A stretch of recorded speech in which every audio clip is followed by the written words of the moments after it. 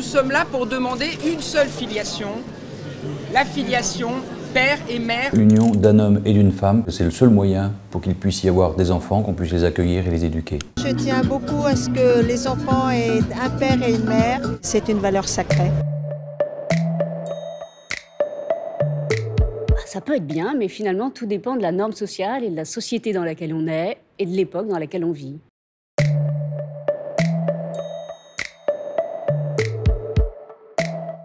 Parfois, c'est le modèle euh, dominant, et donc c'est celui qui va être le plus confortable pour un enfant.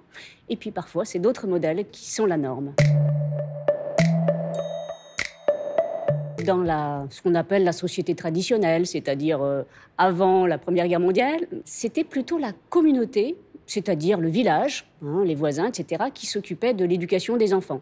Donc c'était pas seulement la famille, c'était pas seulement le papa et la maman, pas seulement non plus les grands-parents, les frères et sœurs plus aînés, mais même les voisins, etc., euh, chez qui on envoyait par exemple l'enfant en apprentissage pour devenir boulanger ou autre chose. L'homme apporte parfois plus euh, cette notion de stabilité, la mère plus cette notion de douceur. Un enfant a besoin pour évoluer euh, pleinement d'un équilibre homme-femme.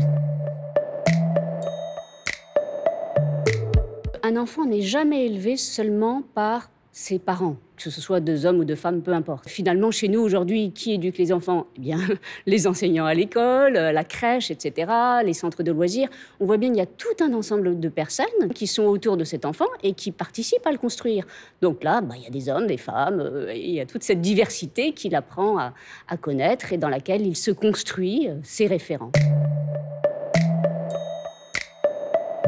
Aujourd'hui, il y a beaucoup de femmes qui travaillent. Euh, avec le chômage, bah, parfois, on peut se retrouver avec un couple où la femme travaille et pas l'homme, etc. Et puis aussi, euh, l'homme a envie de s'occuper peut-être davantage de son enfant, etc. Donc, les rôles euh, auprès de l'enfant évoluent et on a des, papas qui s'investissent plus que la maman dans le temps, qui vont chercher l'enfant à l'école, lui donner le bain, le faire manger, etc. Donc, on peut tout à fait changer de modèle au fur et à mesure des générations. Aujourd'hui, on peut dire que le modèle de la famille recomposée, donc euh, voilà, des parents séparés qui, se, qui reforment un autre couple, cette famille recomposée, elle est relativement bien acceptée, alors que ce n'était pas trop le cas encore dans les années 70-80, ça commençait. Hein. Et puis voilà, aujourd'hui, on s'aperçoit que à nouveau, de nouveaux modèles commencent à être acceptés. Un couple d'hommes ou un couple de femmes euh, peut-être que bientôt, cette norme-là sera aussi euh, plus acceptée socialement. Ils ont besoin d'avoir une certain nombre de racines. Et dans un monde dans lequel euh, on n'a plus sa famille comme socle, c'est un monde de violence. Ce que je constate chez ces enfants, c'est un peu ce que nous constatons chez les enfants adoptés, c'est-à-dire souvent la mésestime de soi.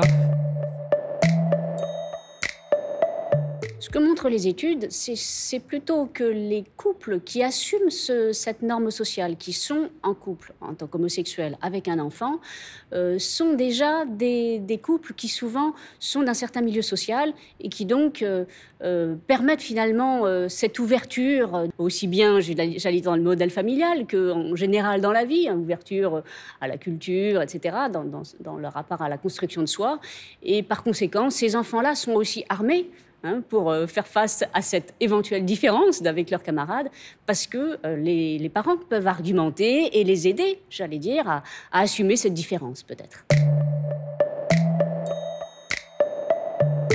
Euh, on trouve même des, solutions absolument incroyables, notamment donc dans la société des Nuers, qui est une société qui a été étudiée par un anthropologue, Evans Pritchard, un Britannique, dans les années 1930. Et il nous a montré comment un couple qui était stérile. Ce couple se séparait et la femme allait se marier avec une femme. Mais cette femme avec qui elle se mariait allait avoir une relation sexuelle avec un homme extérieur au groupe social et donc allait se retrouver enceinte. Et ça allait être cet enfant qui allait être l'enfant du couple. Un couple donc de deux femmes. Et, et la femme du début, la femme stérile, allait jouer le rôle du père dans ce couple. Mais là, c'est un père social et il n'y a pas de relation euh, sexuelle entre ces deux femmes. Hein. Mais voilà, on a donc une femme qui est un homme socialement.